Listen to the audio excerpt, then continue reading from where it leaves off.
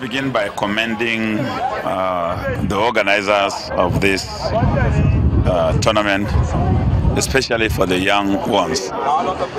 This is the right foundation for proper sports development. Young people must be introduced to sport at these ages. The beauty of it is that they are going to establish friendship right from here. The team spirit, the team playing spirit is also going to be developed.